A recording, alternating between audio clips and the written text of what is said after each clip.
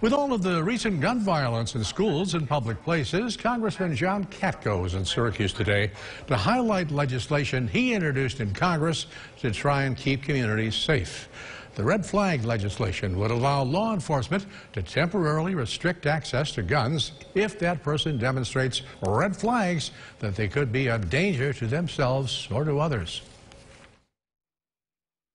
the vast majority of these mass shootings nationwide have some sort of mental health component, mental health component to it.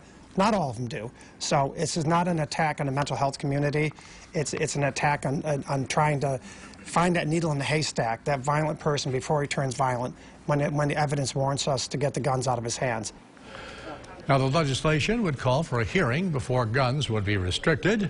Democratic opponent Dana Balter weighing in tonight, saying, quote, this weak and toothless bill will do little to make us safer.